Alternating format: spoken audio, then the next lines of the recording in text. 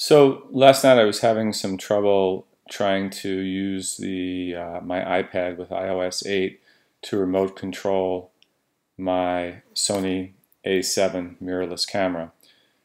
I finally figured it out, so here's a short video that hopefully will help you out.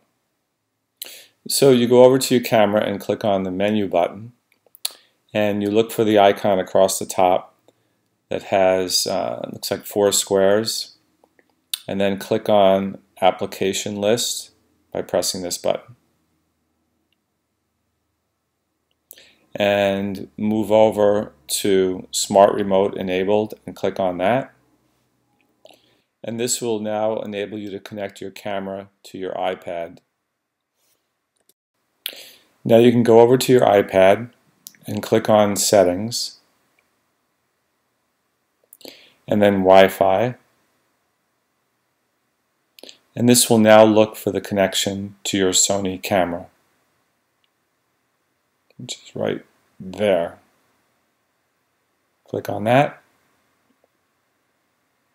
and then you click on the application called Sony Play Memories, and it will connect to the camera. And now you're seeing what the camera sees. And now I'm going to use this button on the iPad to actually take a photo of me in the camera that's across the room.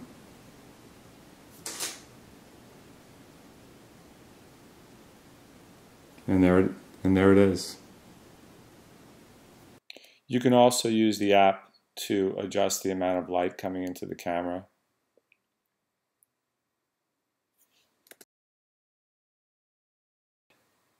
So I hope you found that short tutorial helpful and uh, good luck with using your iPad or your iPhone to remote control your Sony mirrorless camera.